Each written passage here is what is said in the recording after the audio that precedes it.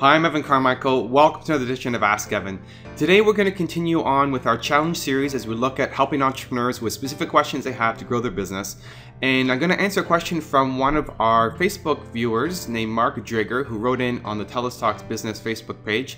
And he wrote a question for Evan. If you feel you're at a place in your business where you have to grow revenue to increase profitability or scale back and stay smaller to increase profitability, how would you recommend proceeding? So thanks, Mark, for the great question. Here are three suggestions that I have to help you.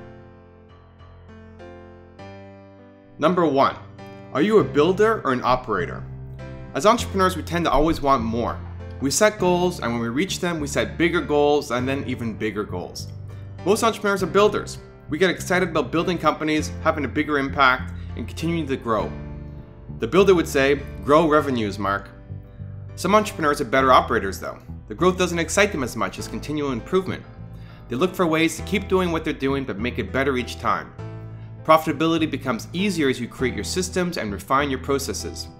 You might still grow your revenue numbers, but it's not the main goal of the business. The operator would say, improve profitability, Mark.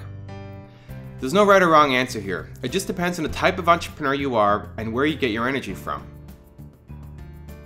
Number two, what's your ceiling? Another way to look at it is to try to understand what your ceiling is. Most entrepreneurs can only grow a business to a certain size and then they plateau. They just don't have the interest, skills, or passion to build beyond.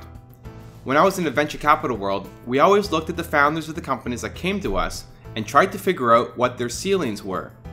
Is this someone who can build a company to $100 million and take it public, or are they going to have to be replaced somewhere along the line? Some entrepreneurs are great at startups. They know how to bootstrap and turn nothing into something. They thrive on it, and the lack of resources and having a small team push them to succeed. But once they get to a certain amount of comfort, they stop trying as hard.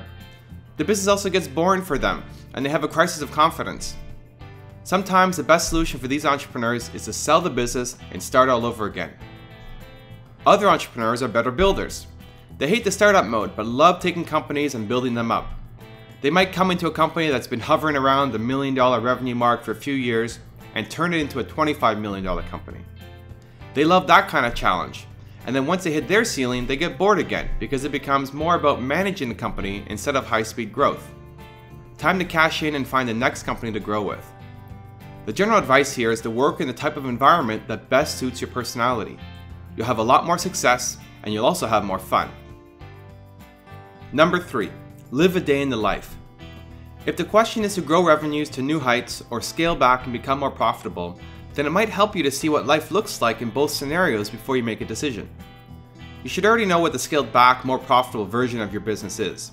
You've lived through it, so you know how big your team will be, how much a work life balance you'll have, and the type of work you'll be doing and not doing. It's the bigger version of your business that is both exciting and scary. An easy way to learn more about what that kind of life looks like without having to go out and build it, is to find an entrepreneur who's living that life and ask to spend some time with them. For example, if you're a million dollar business and you want to get to 5 or 10 million, what does that business look like? Find someone either in your industry or in a related industry who's running that kind of business and see what their day to day life looks like. If there's nobody in your local market, look to a different geographic area, even a different country if you have to. Most entrepreneurs are willing to help out other entrepreneurs if they see that you're genuine about learning and there's no direct threat to their business. See if you can shadow them for a day, or at least get a tour of their offices and ask a few questions. Ask about the entrepreneur's lifestyle and his or her goals. Do you get excited? Do you want to be like this person? Or does it seem like too much work and stress? Again, there's no right answer, but going to live a day in the life of someone who's already done what you want to do will hopefully make the decision easier to make. Thank you for watching. If you enjoyed the video and you want to see more, please give it a thumbs up below. I always love seeing those come in. And if you have a comment about this post or if you want us to answer a question for you about your business, feel free to leave it in the comment section below. I always read those and love seeing them come in. So thank you and we'll see you on the next episode.